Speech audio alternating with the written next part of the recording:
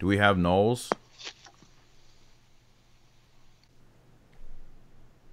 All right, now we're live. Sorry about the little delay. We are live. It's today with uh, myself, Taylor Marshall, Timothy Gordon, and our guest, Michael Knowles. I first, oh, I, I kind of tracked Michael Knowles for a while, and then he went crazy when he was licking the cake, like Miley Cyrus.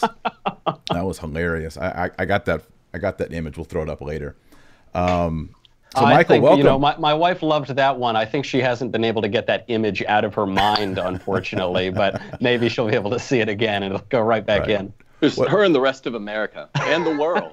so congratulations. Thanks. yeah, Yeah. yeah. So, um, so Michael Knowles, welcome. Uh, you, you, uh, you, you wrote the book on uh, on the uh, what was the title of it?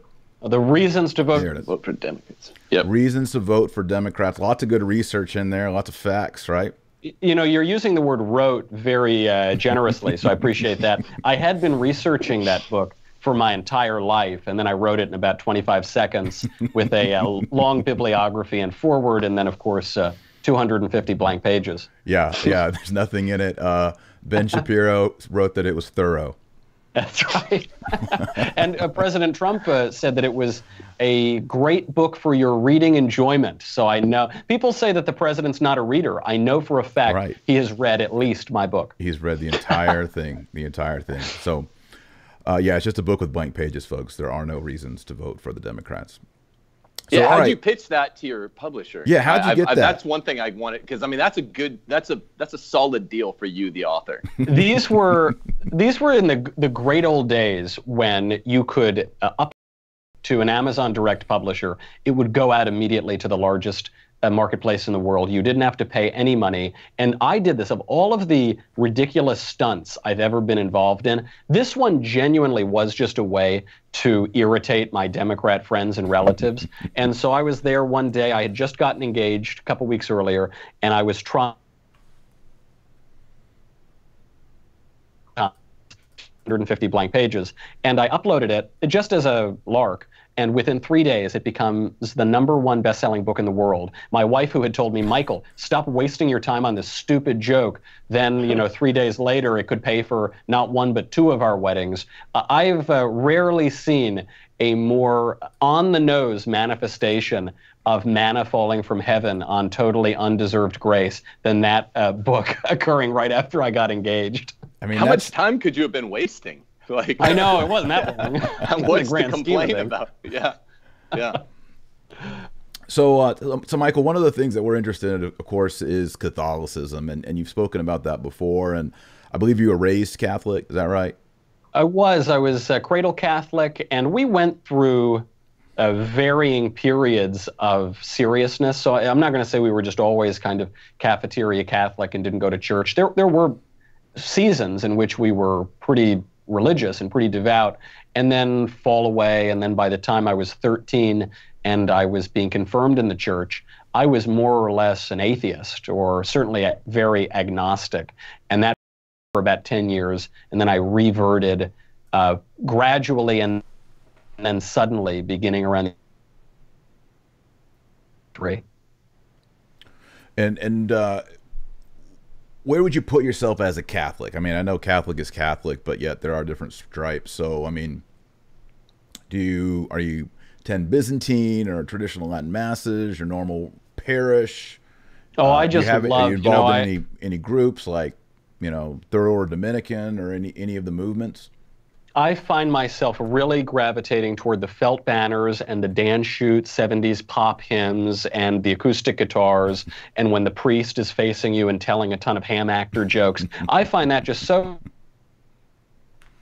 and uplifting that I, I tend to go to the traditional Latin Mass. The Norbertines uh, do an excellent job here in Southern California.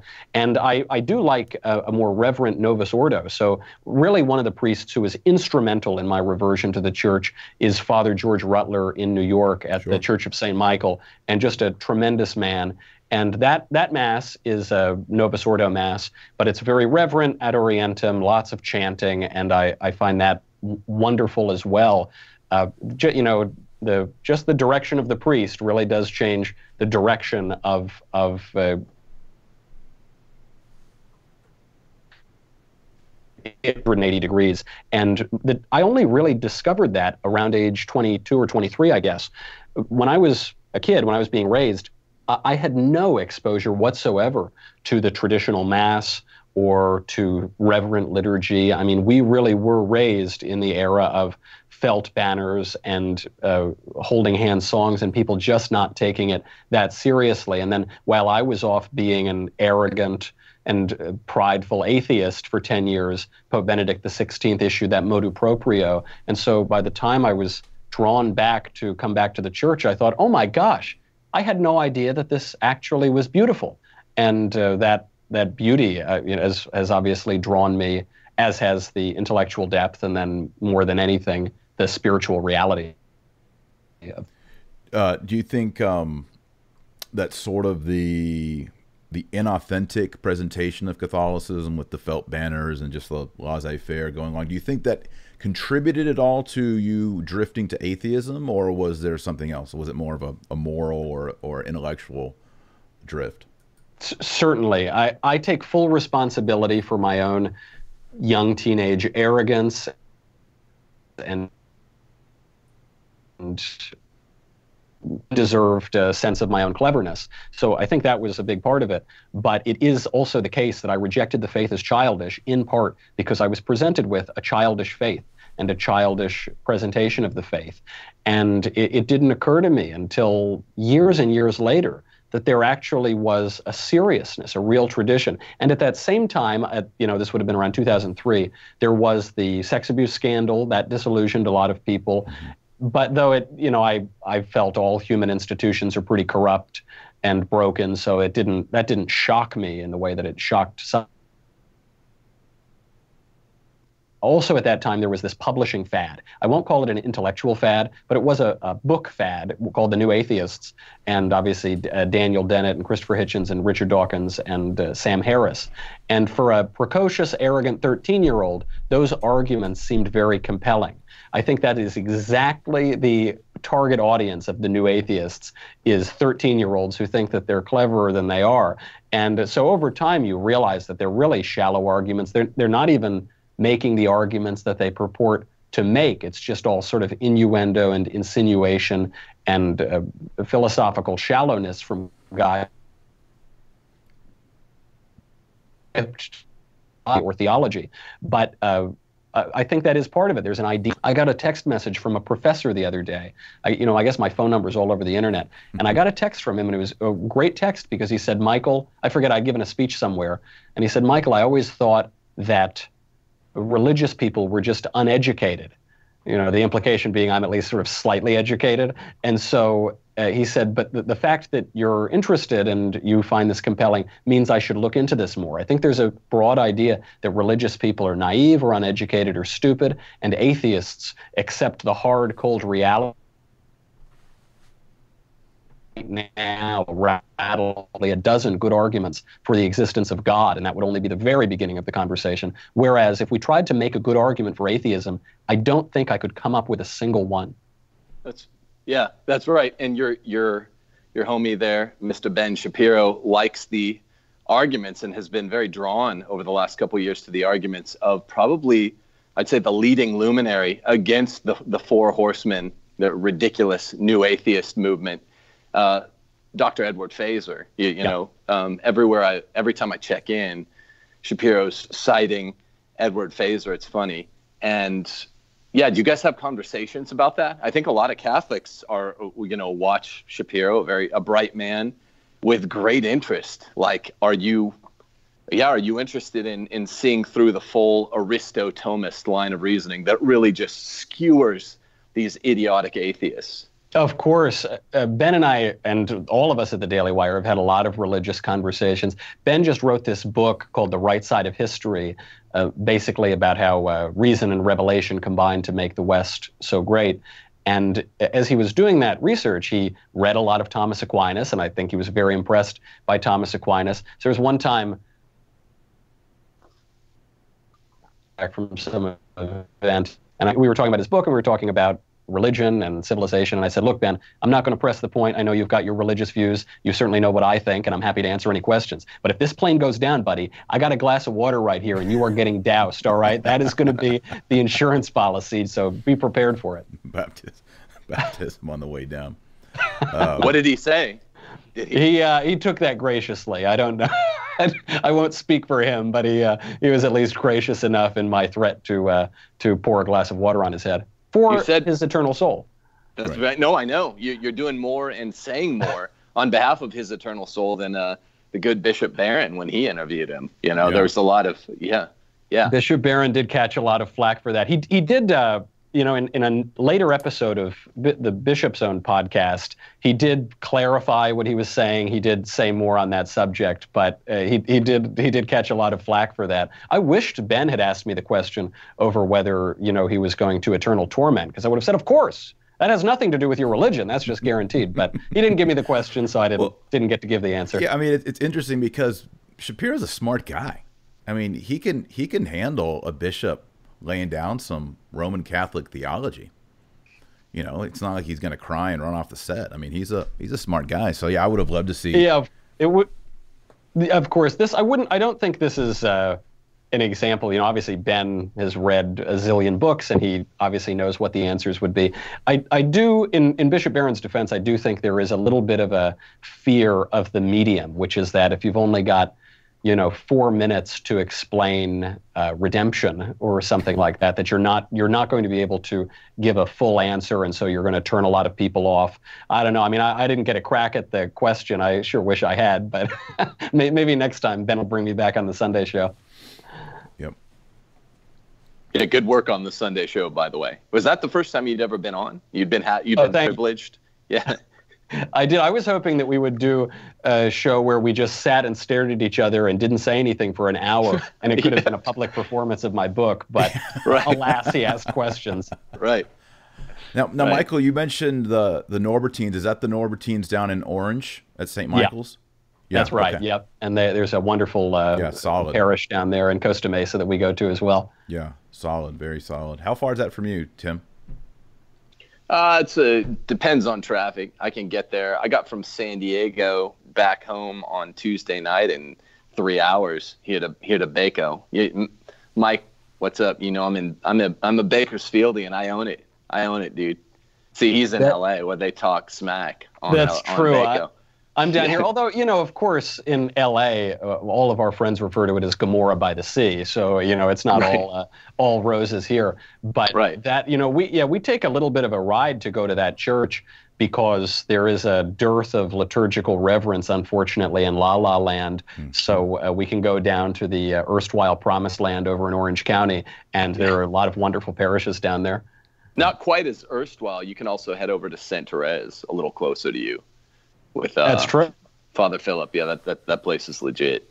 It's good to be talking to an Angelino. We're usually talking to people on the East Coast. I feel I feel comforted by by seeing seeing an Angelino's uh, head face in our head. Uh, you know, I am I am a transplant, and actually, when I moved from New York, I drove out here. St. Therese was the first church that I started going to. And that was another little bit of a hike. You know, the thing is, in LA, if you're going to go more than two miles, it's guaranteed to take you 45 minutes. But I, I always really liked it because I would. Uh, I know you guys were talking, I think, in the last stream about the presence of Christ in the Eucharist and how some people, you know, would just stay at home otherwise and listen to uh, Father Rutler's homilies in the car ride there, you know, or, or, the car ride back, maybe smoking a cigar. The body is a temple. The temple needs incense. So you can definitely make use of that LA traffic for uh, spiritual good or harm. Uh, now, Michael, yeah. I read that you, you got married last year. Is that right? That's right. All right. So uh, let's talk about that. Marriage, Catholic marriage, kind of uh, you know, we're told as guys, hey, marriage, there's nothing in it for you in marriage. You know, there's there's a lot of men's rights groups, the MGTOW group, all of these guys, uh, kind of the red pill male group that see marriage now because of feminism as as a, a bad deal. So you know, for guys like us, uh, I even have had friends who say, oh, you know, and you do that, you're gonna get divorced. You're gonna lose half your property. you know, what's the point Lose of that? So, kids. I mean, I, I think it's important that more and more, uh, as Americans, as Christians, as Catholics, we talk about the merit, the the merit of marriage. So I, I'd love to hear your thoughts. Uh, you've been married what a, a year now, or not quite? A year, yeah, actually now going on 13 or 14 months. Good. So I've got a vast array of experiences in marriage, you know, all, all, all this one year. Um, marriage and that you're going to lose half your property and all your kids, which is uh, don't marry a feminist. This isn't a terribly difficult problem. you know, if you marry somebody for whom marriage really doesn't mean anything, then uh, what are you doing? Are you really being married at all? I suppose it depends on how you do it. But if you find yourself a wonderful gal like I did with sweet little Alisa, then it's just the most wonderful thing. I mean, I told you guys I fell away. I was an atheist for 10 years. I did pretty much everything wrong. And uh, what that means is doing everything the culture told me to do. Delay marriage, don't do that, date a lot of girls, do everything. And uh, I asked a friend of mine before I got married, I said, uh, thing I should do. It is the greatest decision I've ever made. I should have done it earlier. It brings you into society. It brings you into adulthood. It is so full and wonderful. And I, got, I thought, gosh, this is the total opposite of what the culture tells me. And I, in this past year, I'll tell you, I guess I'm still a newlywed. I'm still in that honeymoon phase. It is the greatest thing ever. I just love it. My life has improved a zillion percent. My poor wife's life has probably gotten much, much worse. But listen, marriage is about compromises, and it's it's just terrific. I really urge all of my friends. I have so many in New York and L.A. and D- 30s or 40s married who don't really want to get married and i say like guys do it tomorrow find a girl on the street and just make it happen because it's uh, really Not a a great feminist, improvement to but your not a feminist. life but not a feminist yeah Find so- a girl Look careful. walking the street. No, no, not, not, not that. A random, Yeah, a I get- random street walker. yeah you've got to really choose your words carefully here Right. but Yeah, yeah, yeah. This coming from the guy who's getting calls from all over the internet. Your number is everywhere. It is everywhere. I real when I picked up, you know, it's funny though because big tech knows everything about us. So I don't care that my number's on the internet. I don't care that probably Google and everybody has everything. The ancestry companies have my DNA. There are probably ten clones of me walking around Arizona somewhere. I just it's it's so uh, past that at this point. But it is funny because I do get random texts. One time I got a call and uh, I said hello, and they said, "Is this Michael Knowles?" I said, "Yeah." They said, Michael, I'm just calling you to let you know that you should probably take your number off Instagram. that's, oh, that's a very helpful phone call. Thank you very much. Super. So My- do you answer your phone? I, I- I've stopped answering my phone Yeah. because all kinds of people call me and they have all these strange, you know, questions like, "Would you baptize a Martian?" and "What do you think about Medjugorje?" and "What do you think about this Portuguese word and the Third Secret of Fatima?" and all that. So I just don't even pick up. Wait, those were all my calls. Yeah, I know. That's right. You tell Actually, people- Tim, I was thinking What's about up, it. D? I was thinking Yeah. about Tim. The only person in the past two or three years who's made it through the crazies on my phone is you. Really? Does Yeah, that when- mean I'm one of the crazies? Yeah, he's Just not No, the no, only you, crazy you were like a guy who called me. Kind. Yeah. You were you were a guy who called me, and I usually was just like, "Oh man, I need to get out of this." But I was like, "Well, this guy's actually pretty cool." yeah. I wonder. I wonder why I made it through. I, I tried Michael too, and he he. Uh, yeah. No, I Yeah. got his number off the internet though, And so, like everyone else. and so we It's became true. friends. Yeah. Right away. Tim uh, Tim called. He said, "Hey," uh, I said, "Hello." He said, "Hey, is this Michael or Katie?" And Katie helps me with booking. And I said, "Well, it's definitely not Katie. So uh, it's got to be the other guy." Well, I thought that was your Well, other these days it personality. Yeah, it could be. Yeah, Michael or Katie, depending on the day, even on. Yeah. Now, Speaking of Michael, you went to you went to Yale, right? I did, yeah. Okay, so were you an atheist at Yale or were you a Catholic? I was a full-on atheist, Okay. I- except I, I don't know. Maybe that's not quite fair, because I, the second I got to Yale, I mean, Yale is a famously atheistic place. Bill Buckley wrote his first book about that, called God and Man at Yale. Yeah. Yeah.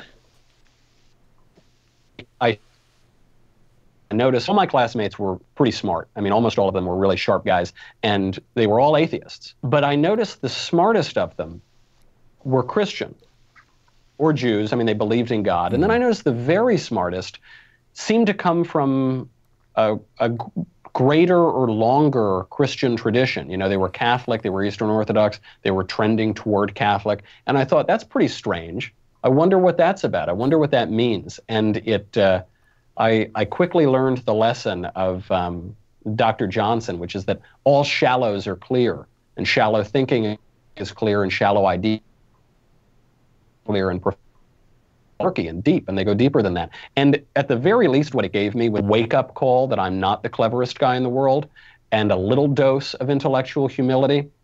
And so uh, Ernest Hemingway describes going bankrupt as it happening gradually, then suddenly. And I would say about 18 is when the gradually started. And I, I probably during college would have said, yes, I'm, I'm convinced God exists. You know, I've heard the, uh, I really liked Alvin Plantinga's modal ontological argument for God, uh, the reformulation from St. Anselm of Canterbury. Yeah. Now, now I have some issues with it, actually, but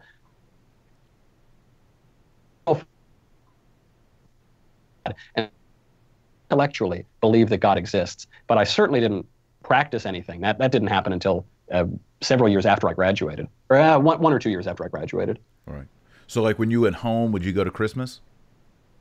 Occasionally, I mean, I would I would be willing to go to church in a kind of cultural way. I or later on, I would be drawn to church as a because I understood or I intuited that there's something going on here that I don't really understand. There's something that is that is drawing me here. There's some maybe some reason.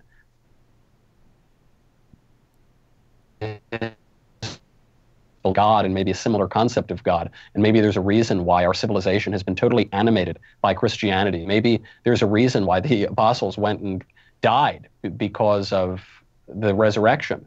They went and died not just for some silly legend that they were, or some lie that they were trying to pass off. Maybe they were really motivated by the truth. All of that was compelling me toward it, but uh, the the whole picture didn't click into place until after graduation. Yeah, your, your reconversion sounds a lot like mine. I've recently begun to take issue with the term reversion because it's it's what I allegedly reverted to was nothing like the the sort of piss poor, see through mm-hmm. tawdry Catholicism that we were all raised with in the 80s, 90s, 2000s. Yep. So I, I, I am in search of a a better term than revert. It's not conversion that describes like Taylor coming to the faith from not even a nominal version of itself. What, what do you think of that reversion, conversion? How do you how do you describe? My story is similar to you, yours. It's it's Augustine like. It was a slow, ambling, intellectual reawakening in the faith, and then the will was converted last. But what, what do you think of this? I've well, especially speaking of Augustine, and it involved a lot of Lord make me chaste, but not yet. That certainly was a big factor in it as well. I, I agree. I don't use the word reversion very seriously. I mean, when I use the word revert, I do it almost a, little tongue in cheek because it, it uh, of course, it doesn't describe what actually happened. I didn't revert to felt banners and those right. sickly, saccharine uh, 70s pop hymns that are usually heretical and never were cool, never were beautiful. So I'm not. I'm not reverting to anything like that, though I am reverting to the faith. I mean, in, in the sense that uh, un- unlike uh, versions of uh, heresy or or more abstracted ideas of Christianity that it's just some idea or that it's only happening kind of in my perception or in my will. I mean, my baptism is real. The sacraments are real, and I, I really was baptized into the faith. So in that way, I would defend the term. But I agree, it, it doesn't really describe the the whole uh, transformative process that happened or what uh, in an intellectual or liturgical or, or even spiritual way we are going back to. Yeah, I think that's helpful too because uh, my guess on this, I think what's going on here is in the 90s and 2000s there was, you know, there was this sort of celebrity convert culture in the Catholic Church. Right? Like we got this guy, yep. we got this guy, a lot of ex Protestant pastors like myself. And so that was kind of a cool scene to be in in the Catholic Church, like the convert scene. And so there was this whole revert scene, right? Which was kind right. of like, well, we're the kind of like the converts. But I, I, I, like what you guys are saying because you guys you know, you did receive baptism, you did receive confirmation, you did go to confession at least once, I presume, you know, Yeah. as a child. And so, you know, we all of us in our Catholic life fall down and make mistakes, uh, maybe even commit mortal sins. When we go to confession, we don't call that reverting per se. I guess if you like left the Catholic first, uh, Catholic Church and you are a professed Buddhist or something, Right. maybe you came back, you call that revert, but I'm not sure. So it's interesting to see see guys like you and how you articulate where you you know there and back again. You know where how that whole thing shaked out. And there, there is also this aspect, you know, of going away toward another religion. You see this a lot in, especially in New York. People will take on this sort of quasi-Buddhist spirituality that Yeah, yoga pants Buddhism. term. That's right, yoga pants Buddhism, and then you eat an acai bowl afterward, and that's your liturgy or something. Right. But the, there, there is, and we see this reflected in, in the data.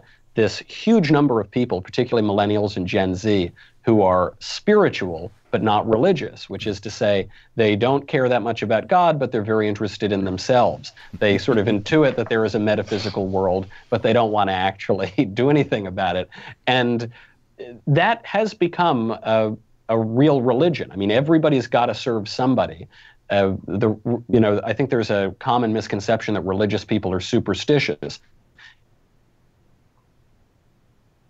Subscribe to true are the least superstitious people in the world, and it's often self-proclaimed materialists or atheists or the spiritual but not religious who are the most superstitious. They're reading astrology. They're they're tr- transforming their diets. They believe in these kind of new age gnostic dualist ideas. I mean, particularly in the transgender movement they're adopting this idea. On the one hand, they say this, the metaphysical world doesn't exist. We are only material. On the other hand, I am not my body. My body has nothing to do with what and who I am, even if I appear to be a man physically.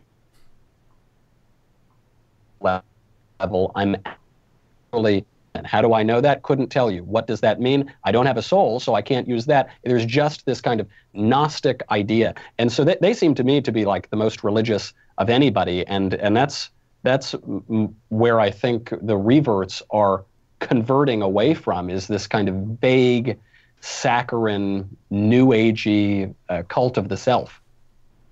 Yeah.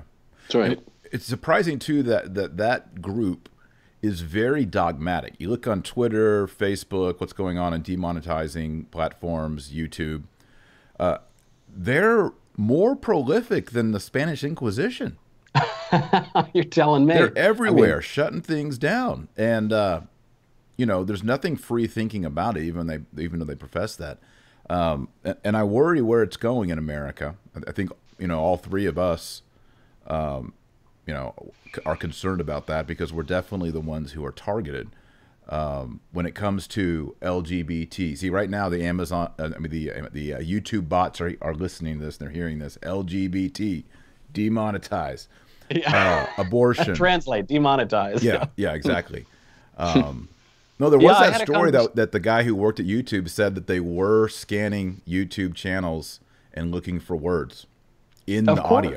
Yeah, in the audio. Of audio. course, you know, I, I did an interview on my show with Father Mike Schmitz, and we were talking about his book on marriage. If anything, it was a little bit of a dry episode. You know, this is not the uh, hottest topic, and you know, talking to a Catholic priest about marriage. And they uh, censored it. They censored it. They demonetized it. They restricted its reach. This has happened to a, a number of our videos. And what's so difficult about it is that it's an issue of transparency. So we never know what the rules are on Right. YouTube. We never know what the rules are in the culture. We were told two months ago that if you use the word queer, it's like using a racial slur and you can lose your YouTube channel for it. They tried to kick the conservative comedian Steve Crowder off of the platform. Then Colorado State University just a week or two ago published a an inclusive language guide that said that actually you can now never use the word homosexual because that's for some reason been forbidden. Now you have to use the word queer. And if you don't use queer, then you're going to be kicked off YouTube. But if you do use queer, then you're going to be kicked off YouTube. It's constantly changing so that we can talk to the censors and gatekeepers and ask them what we are allowed to say. And it's not just a play for political power. though it is. I mean, they are certainly trying to use the law to limit what we can say, limit what we can think. They are trying to use the culture to limit what we can say and think. But specifically, when you get to the realm of gender ideology, which, you know, gender confusion afflicts 0.2% of people just about, and yet it's dominated our social discourse. What it really comes down to, I think, is turning it up from a political and a cultural power grab all the way to an ontological power grab to say that the left and only the left has the power to decide the nature of reality itself and that might change, but it will change according to the dictates of the left. And if you disagree, you will be shunned, you will be ostracized, you will be silenced, and there's nothing you can do about it. Yeah. And it's it's especially bothersome when you're a parent because they get to define family, they get to define education, they get to define healthcare, which could include uh, changing your gender. Or if your child says it once at school, you could lose your child out of your home. Uh, all of these things, right, will be invasive and invade traditional family life. So they will not only just control the public discourse, but they might actually just control the next generation because these people don't tend to breed like we do. You know, I got eight kids. Tim's got, you know, more on the way. You've got some coming. These people don't tend to have children. So the only way they can get the next generation is to steal them. This is right. You know, one time I was uh, trying to get Mitch Daniels, the former governor of Indiana, to run for president. This was around 2011, 2012. And actually, Mitch now is at Purdue University. At university. Time, he gave a speech to us, and he was talking about all the political uh, difficulties coming down the pike, and uh, all the ways that we can defeat this secular, you know, uh, big spending, aggressive political left. And he said, Boys, these are the ways that you can do it at the ballot box and here and in the culture and da da da da da. He said, But don't forget, we can also outbreed them. And I'll tell you from experience, that way is a lot more fun. yeah. Yeah. The, they used to call this the biological solution, except in the 70s and 80s. Uh, what I find interesting is the biological solution was waiting out the the radicals who had crept into the church, just waiting for them to die. You know, the, the, the dinosaurs, the true believers in the worst aspects of the council. That, of course, didn't work because radicals are are radical. They're aggressive. They they never flinch and they never back down. The biological solution that works, that's that's yes, quite fun. You you have to give it to your your mentor. Is is uh, outbreeding them. But this only works if we're pointing out the contradictions like you were just doing, Michael. I mean, none of these leftist interest groups, if we're being if we're having a long enough memory, can really speak to one another, right? The uh, the CAIR group, the the pro-Islamic group, the feminist group, the the LGBT. You know, feminists can't decide whether or not they like LGBT. Uh, if, for really obvious reasons, if you have a long enough memory, right? What, you know, what do you say to that? Of course, because you're actually seeing this playing out right at this very moment, and it will be decided eventually by the Supreme Court with the issue of women's sports. So you have two pet victim groups of the left. You have women, and you have people who are confused about their biological sex, transgender, right. gender ideology. And they're duking it out over Title IX, whether Title or not sex will also include identity. And here is an irreconcilable difference, an irreconcilable conflict. On the one hand, Title IX establishes women's sports leagues because there cannot be discrimination on the basis of sex. Men are physically stronger than women, so if men compete in the same sports leagues, they will beat them. Women are allowed to have their own sports leagues. Title IX sets up women's sports leagues. If we interpret that to include gender identity, the idea that we're not talking about the basis of sex, but simply what one believes about one's own sex, you abolish women's sports leagues. You can have one or the other. You can have uh, you can have the left doesn't really care though because they tend to just abandon their old pet victim groups as they become uh, less less and less politically useful and move on and it's this great point that you made which is you can't just wait them out i mean from a you know purely political standpoint we were told in 2016 by a lot of people who would call themselves conservative it's better for Hillary to win It's better for a lot of leftist judges to get on the court. It's better that we'll never have a shot at overturning Roe. It's better that you will see your religious liberty destroyed. It's, it's better to wait them out. Who's a little bit of a volatile candidate. Because look, we'll get them next time. You, you can't wait them out. But by the radicals. They are going to aggress and aggress and aggress. Nobody wins a game by lying down and doing nothing. And you see this at the political level, the cultural level, and within the church as well. Yeah. Uh, what do you think about the uh, invasion into education? I mean, they've they've basically slam dunk the college university system, and I think we're going to get to a point in which they say for the professors, people like me, if you do not sign on to our LGBT diversity agreement, you lose tenure, you lose your job, you're not welcome here. Uh, this also has to do with publishing and journals. Uh, you you basically are are disbarred from academia. I think we're probably only a couple years away from that.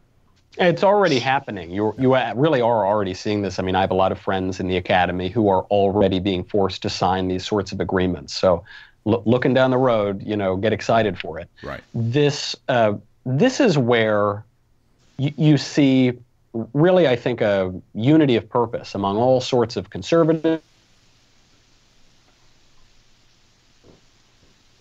Not a you saw this fight break out at First Things with Sohrab Ahmari and David French at National Review. And it was basically an argument between traditionalists and cultural conservatives and libertarians and classical liberals. And on the one side, you had a, the people arguing that the end of politics is the good and virtue, and the, the other side saying, no, the end of politics is maximizing individual autonomy. That is the good in and of itself. And in that battle, I tend to agree with the traditionalists and the cultural conservatives. But where you see the two sides come right together is in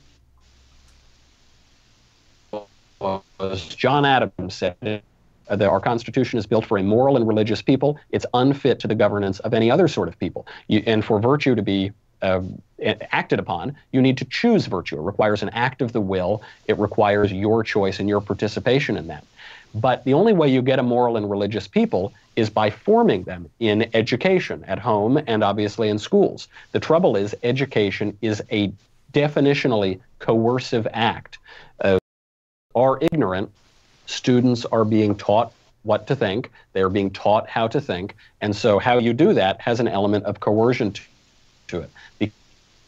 Because state and an increasingly atheistic and leftist state has taken over education uh, and now is making a bigger play to take it over by going into the colleges, forgiving student loans, taking an unprecedented power grab over colleges and universities. You're seeing uh, that that state action imposing over the course of time a, a morality that we would find unrecognizable to any moral truth. That, that's going on right now, and the universities are the crystal ball. So when, when you see the craziness on the universities, look down the road 20 years, that's the country you're going to have. It was true in the 1960s. We saw that bear out generation later. Uh, was the religious and conservatives have abandoned the universities. We basically let the secular left have it. And that was a huge mistake. The lesson that we should take from that is you do have to stand your ground, you do have to fight. Uh, there, there are extraordinarily negative consequences to lethargy and cowardice. Yeah, the, the French Ahmari debate is one that's near my heart and for, for reasons. A lot of us uh, sympathetic to to uh, Ahmari's type of arguments. You know, the the, the so-called post-liberals. I'm I'm very sympathetic to all those premises, um, and and of course I'm I'm not really any more sympathetic to to David Frenchism than I ever was. There there seems to be a false dichotomy there, and um, yeah, you know, I make this point in my book Catholic Republic. I, I I won't I don't really like using David French as the paradigm instance, but right. see what you think about this, Michael. I think that generally speaking, the post liberals have the correct premises and something like classical liberals, just just the Catholic version, Thomists, uh, have the correct conclusions. And so it's I'm not a proponent typically of third way type arguments like distributism is a middle way between socialism and capitalism. I think that's bunk. I right. think I've I, I think I, I think there's a legitimate middle way between so-called, you know, Ahmari style integralists, which has become very trendy, you've noted, and uh, and the so-called classical liberals, which really that that point of view shouldn't even be available to Enlightenment or post-Enlightenment or post-Protestant thinkers. But w- my point is this: I think you're sympathetic because I've seen you a bit on social media. I started out very sympathetic to Sohrab Ahmari, but now they, they just keep going. There there needs to be something, someone, from a traditional point of view. Maybe it could be you, because you're a big name, to say, yeah, I, uh, culturally speaking, we need to be traditional. This is the only way for, for culture or politics to survive. But look where these guys that are pushing for an integrated church state always end up going assault weapons bans. Yeah. Bad, bad, yeah. bad. It's getting very alienating very fast. Very, yeah, I, I agree with that. And it's funny because, you know, I, I like David French a lot. I think he was in some ways an imperfect avatar for what uh, Rob was talking about in, in particular because David has made his career defending religious liberty. Um, but, you know, let's, as it, I agree, and I am uh, more inclined towards Sohrab's argument, but I agree. I, I think this is a false dichotomy. And in the United States, traditionalists are conserving, in part, a liberal tradition, and that's just a fact. And uh, to, to pretend that that isn't the case is uh, just as utopian as any leftist fantasy. The the one area where I I do think that the traditionalists have it is on using the state to uh, establish certain premises because of education itself. So the the the state is not a, a merely neutral institution. It will I true virtues, or it will value the pretend made up virtues of inclusion and tolerance and diversity, which in practice actually mean the opposite of inclusion and tolerance and diversity. I think specifically on education, that, that's where you, you'd have to see that come out. And then I would urge with the classical liberals some caution about giving the state uh, too much. Uh, to uh, giving into the state's haughtiness to tell us what to do in other realms because for instance some of the arguments being made by those more traditionalist types or that that branch of conservatism on say the so-called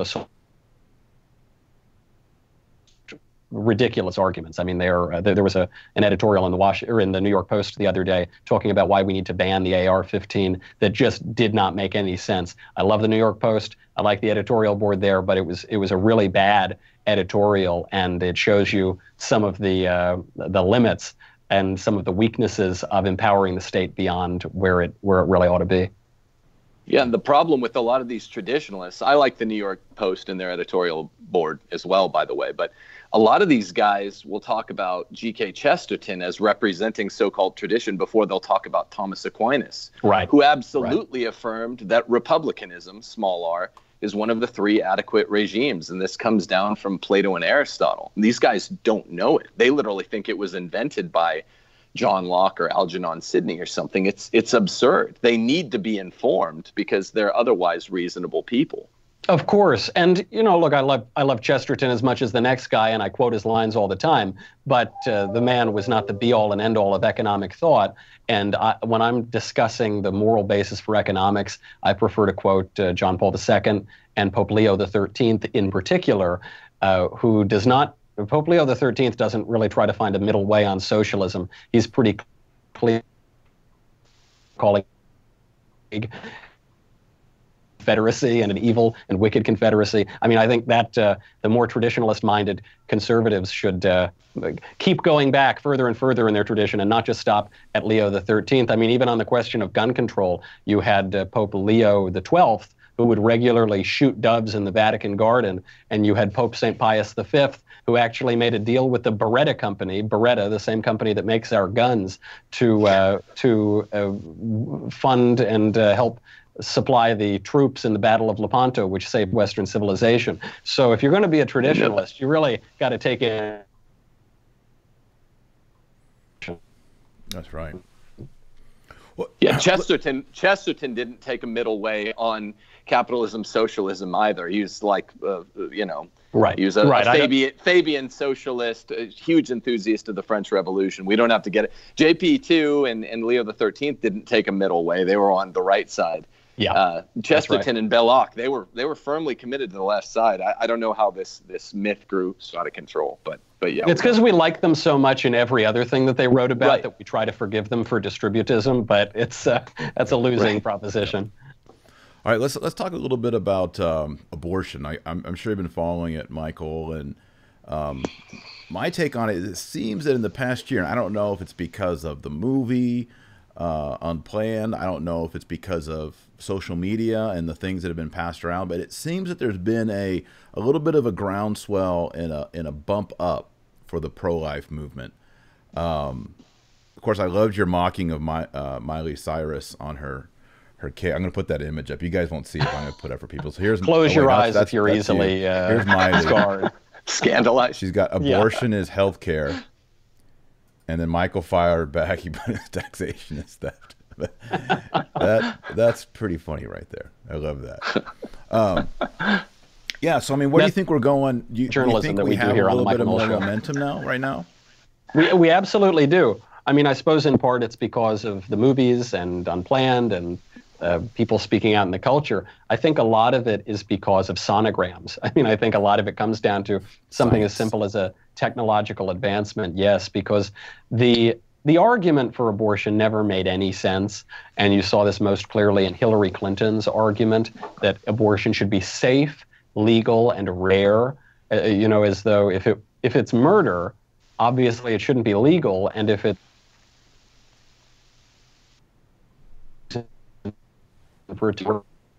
classic Clintonian trying to have both sides.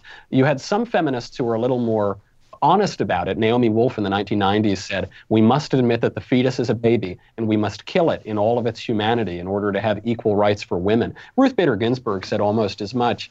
And uh, so you had the, the people who were being honest on the left and in the pro abortion movement, they were uh, presenting the argument, which is that you've got to be able to kill babies for some perverse idea of women's equality. But I think the vast majority of abortion supporters just didn't think about it. They didn't know what was going on inside the belly. They didn't want to think about it.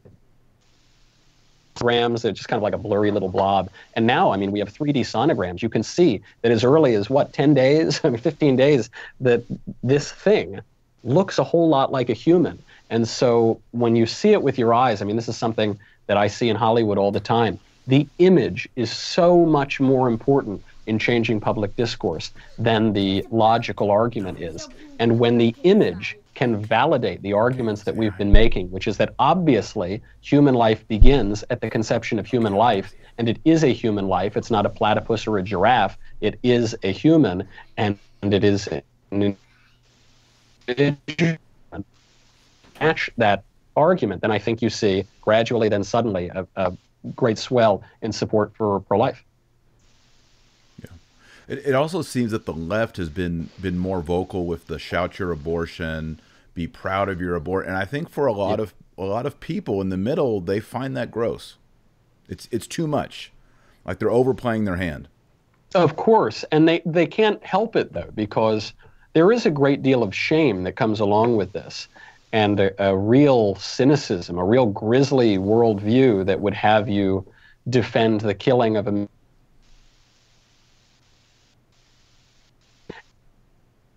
live with that cognitive dissonance. So I think they it can't simply be the case that abortion is a tragic thing that society will permit as a matter of law because it's an imperfect society and, and we compromise on legislation.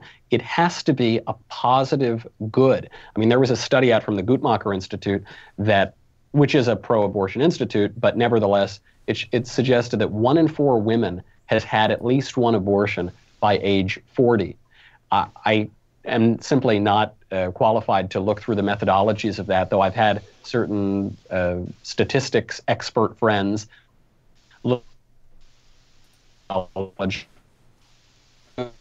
you do live in a society where one in four women has had an abortion, imagine the role that shame plays in that. And if you have done it and you're unwilling to say, gosh, that was a horrible decision, I'm so sorry, God, please forgive me, then really your only other alternative is, yes, I did a good thing. My baby would have been happy that I killed it.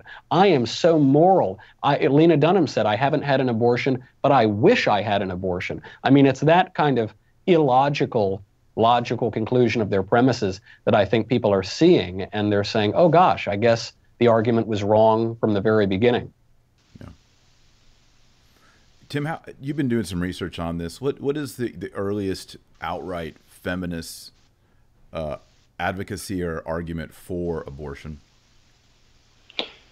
Oh, abortion, that's a good question. The the earliest outright feminist advocacy for basically everything that we associate with feminism um, that sort of forced uh, intemperance, sexual intemperance by females, getting into the priesthood, getting women out of the homes, and there was a lot of rhetoric, uh, sexual rhetoric about getting them out of the homes. I suspect it's there it goes back to the earliest possible iteration of first wave feminism, which is just evil. It's everything you see in so-called second wave feminism is back as far back as 1848. There's uh, a meeting called the Seneca Falls Convention with a memorialized document called the uh, Declaration of of Sentiments, which I think is is funny that those gals got together and came up with a Declaration of Sentiments, and it's it's uh, it's instead of the Declaration of Independence, uh, uh, after which it was modeled, it's called the Declaration of Sentiments. Yeah, not the Declaration of Reason, not the Declaration of Arguments. It's no, no. the Declaration of Sentiments. Okay. De- declaration of Feelings and Moods or whatnot,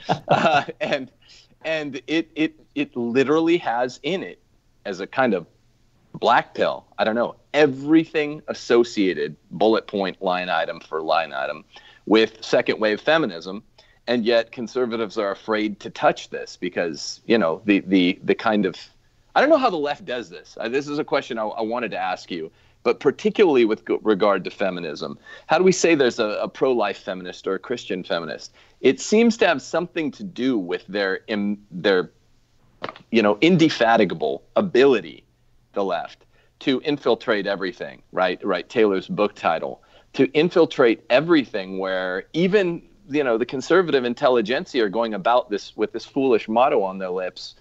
Well but first wave feminism isn't bad or well, all i'm critiquing is radical feminism radical islam. It's like but if these are if right. these are core principles of feminism as the scholarship shows i was shocked.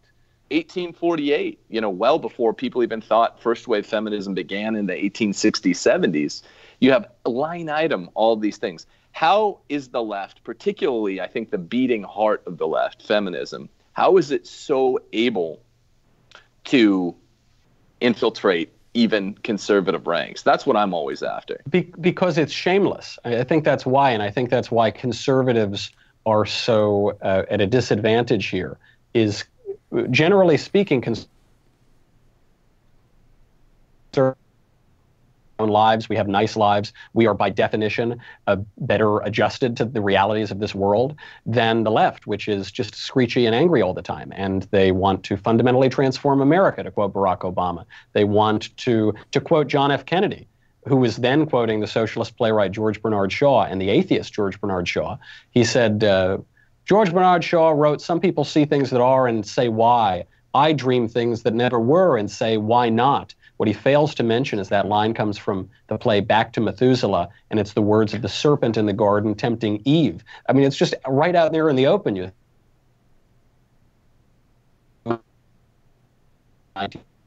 it, it is this antipathy toward reality. It is a preference for fantasy. You see it in Alice in Wonderland. Humpty Dumpty says to Alice, In my world, in my language, words can mean whatever I want them to mean. Alice says, uh, the question is, can words really mean all those things? And he said, the question is, which is to be master? That is all. And that and the, the left would be master by redefining everything, by ma- by changing all of our definitions. And the right would be master by using words precisely. So especially, you see the culmination of it in the 1960s when the left political is the personal, such that there's no distinction anymore between personal and public. we are going to infiltrate every level of the society, not just the Congress, not just the White House. We're going down to the family, we're going down to the crib. This is a, uh, a, a, shamelessness. They don't care how they are perceived, they don't care how screechy they look. And we conservatives, because we want to kind of get along with people and be nice guys, we're willing to accept many of their premises while rejecting their most radical ones. So we'll say, oh, yeah, we, we love uh, first wave feminism. No, we, that's fine. We're okay with that. We just don't just shoot my child hormones and mutilate his body. But please, but we're happy to accept. I like second wave feminism too. I mean, we're just we're just too nice about it, and uh, because of that, we're just at a real cultural disadvantage in fighting a, an endless, never-ending political and cultural bully. Yeah. yeah. I mean, it, yeah. it, it, goes back to the, the philosophical debates. You see it in, arising in the 14th century.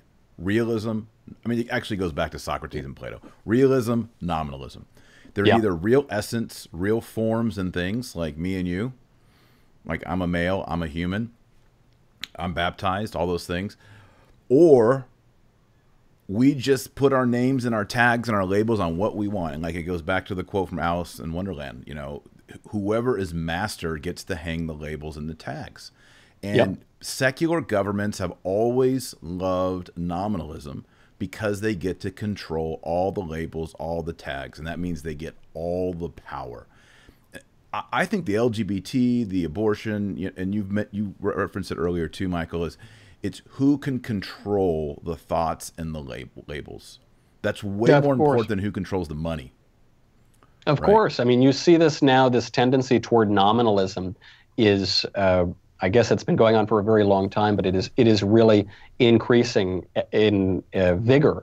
And it's, it's difficult to argue against it in a culture that is, that denies objective truth because it's so convenient. I mean, you, you know, it's so convenient to say, oh, there aren't any real categories. Look, what's a man and what's a woman? It's all just kind of a spectrum. What's sexuality. It's all just kind of a spectrum. What is uh, sin and what is virtue? It's all just kind of a spectrum. Uh, nothing is except uh, no, nothing is good or bad except that thinking makes it so. And uh, because this is convenient to whole swaths of people, then uh, it's uh, very difficult for us to make an argument to the contrary. Yeah, and and the irony is, you know, all these people living in San Francisco and Oregon and or at Chicago or whatever else they don't understand that the people who are going to hang those labels aren't aren't the hippies. It's going to be the powerful political, corporate, financial powers of the world who will eventually get to decide all of those things. Everything on the chessboard, they get to decide. And they will not consult the lowly transgender teenager, you know, living in whatever town. They will go for a complete takeover of, of society. course. Of course, I mean that is that is the play. They they uh, if if I were consumed as the left is with just accumulating and amassing and centralizing power, why would I be content with just some particular amount of political power when I could take over the control to redefine reality itself? I mean that's that's the ultimate, and that is that seems to be the uh, end of the philosophical premises that they've they've had for a long time. Right, and it's yeah. ultimate. I mean, as as Christians, as Catholics, we know it as its origin is ultimately Satan. I mean, that's that's the cry right. of, of Satan and all the demons.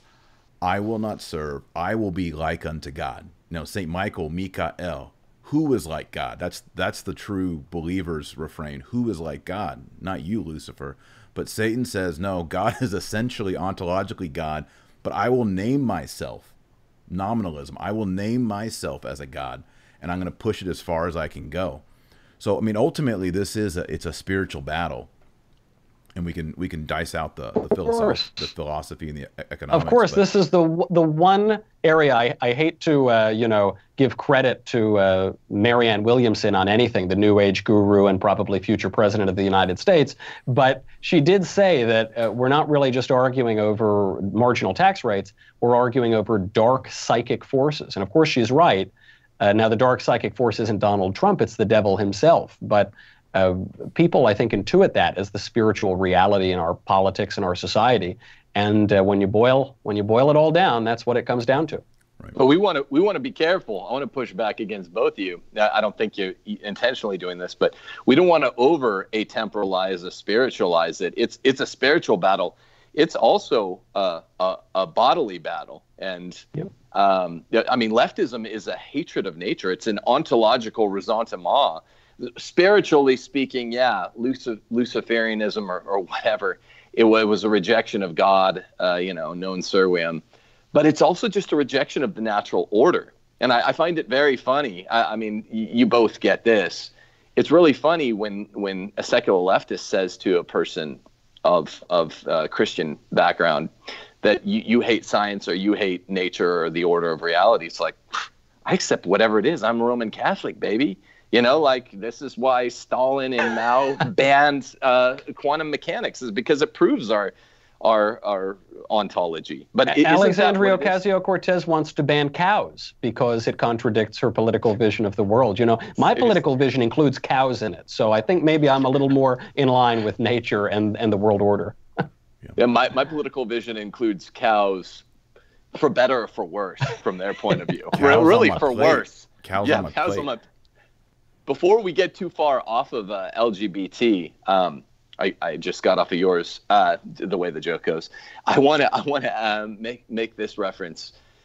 Uh, I think you said at the very beginning, Michael, of the Summer of Shame to Allie Beth Stuckey that you didn't think there was much of a correlation between um, homosexualism and the priesthood, which is, by the way, the only place where I think LGBT is really this code red crisis is in yep. the Roman Catholic prelature uh, and the sexual abuse crisis. That was before, to be fair, that was way before a lot of the, the good data has come out, the yeah. Pennsylvania grand jury report. Do you care to, do you stick by that or do you, it, I mean, no, I mean, I was going off of the, uh, the John Jay report that came out. And so I took it for, for what it was worth, but yeah, the, from since then, this would seem to, uh, this would seem not to be the case. And it, it does, th- those who have been promoting the John Jay report have been uh, doing so, I, I, think, maybe not out of a preference for a cold, hard look at the data, but because they're trying to push a political agenda. But particularly looking at the uh, Pennsylvania grand jury report,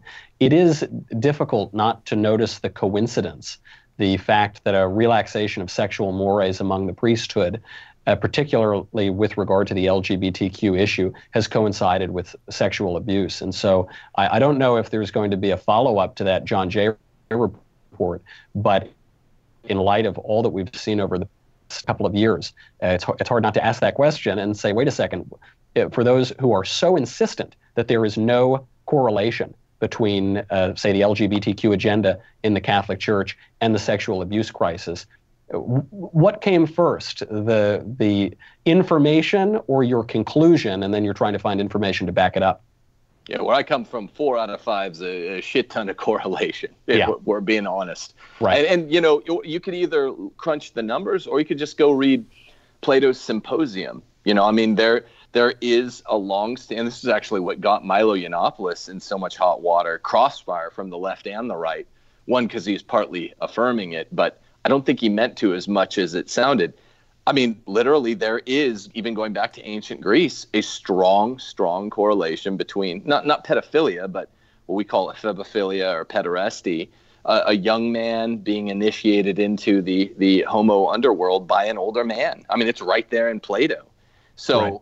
That I, I, whenever good philosophy tends to line up with good number crunching, usually I'm all in, and I, I know I know you're the same way. So yeah, yeah, absolutely, and and it it does uh, it, it also puts the spotlight back, back on those, particularly those within the Catholic Church who are so insistent on this political point, and you see a lot of people, uh, priests, people who are. Uh, seem to be peddling at least borderline heresy, and you ask what what their preference is. Do they want to push a particular view of the sexual revolution and political leftism in the Catholic Church, or do they want to defend the faith? and the fullness of the faith. And uh, the, the problem appears much more widespread than I think I, I was willing to acknowledge earlier.